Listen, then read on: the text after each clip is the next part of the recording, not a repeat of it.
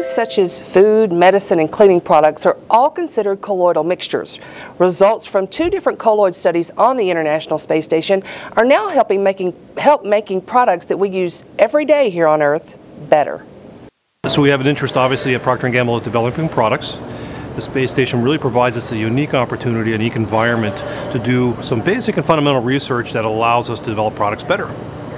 Are you developing any products for space station? They, I'm sure they, they need some toothpaste and stuff, right? Well, you know that's interesting, you know, because we, we typically develop things for, for lots and lots of people, you know, and, and the six people on station any given day, are, um, uh, it doesn't necessarily reach that that, that uh, level of, of, numbers of people, but certainly. Um, so Don Pettit is an astronaut I got to know through this whole process, and he, he sent me at one point a, a whole description of what he needs to wash his, his shirts, you know, and things like that. Uh, so it's not uh, it's not not as if we're doing that on purpose, but but certainly we can uh, think about things like that. Tell us about the experiment. So here's the challenge, right? So we have a lot of uh, liquid products. You might think of things like Tide, uh, things like Downy um, that you mentioned before. Um, and a lot of those products contain actives, and these actives are things that make you feel good, make your make your hair feel better, uh, make it so it doesn't get frizzy, you know, things like that. Um, those tend to be kind of large particles, large drops, if you think about it that way. Um, those go inside these, these liquids, and and the problem is, think of like a beach ball. Uh, we're trying to push it underwater. They like to pop up, right? Um, and if they pop up, that's really bad because then, as a consumer, you take the stuff and you slick on a whole bunch of silicone, say for example, on your head, and that's that's a bad thing.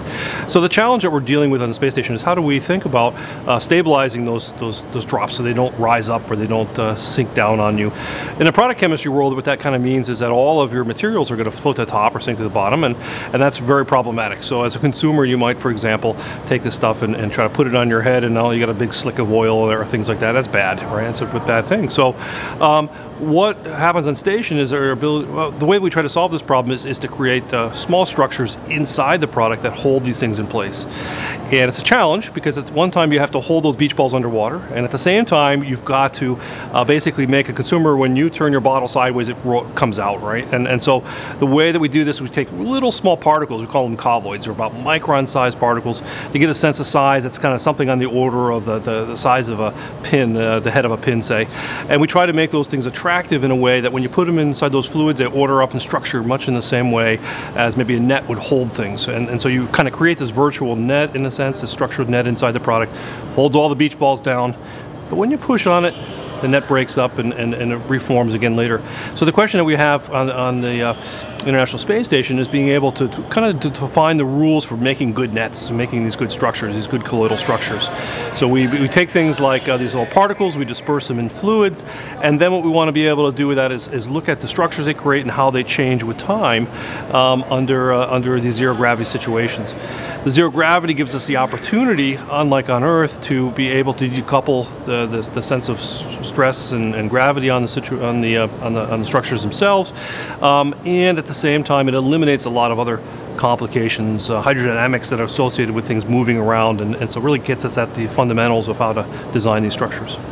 So this is actually, I think what's really exciting about this is we have really kind of two concurrent experiments running at the same time in a sense. So we have ACE experiments, and our experiment in particular is called ACE um, M1. We're the first people to use the new uh, light microscope facility up on, on station. Uh, and it's a fluorescent scope, and what it does is it, imagine like with microscopes, it allows you to magnify things, so the real small particles, these really small uh, colloids, uh, we can see them and we can begin, and put them in cells, we can begin to watch and monitor how they change and set up and things like that in the zero G environment. The BCAT, on the other hand, is, is an experiment where you imagine putting almost like a sample in a big test tube, and what you're going to do is you're going to take a camera, not unlike the one here, and you're going to look through that sample and you're going to watch things evolve and change.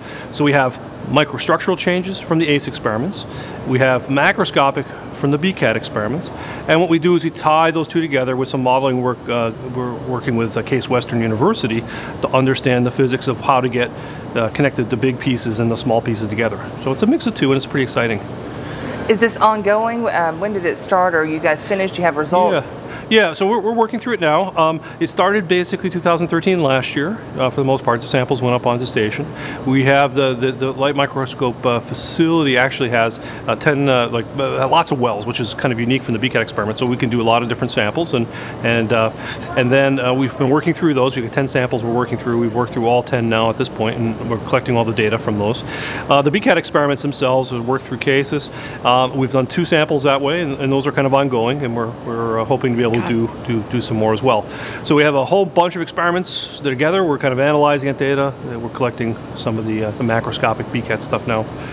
Touching 4.8 billion people a day, this is definitely a way, if you find better ways to make your products, that people could say space is touching their lives, right? Yeah, well, as I understand it, it's, it's, a, it's a mission for station um, to be able to not only look out into the universe, which is fantastic, by the way, right? But but also uh, be able to look back at Earth and, and try to improve improve Earth. Yeah, and so um, you know we're not we're not curing cancer. That'd be great. I wish we could, right?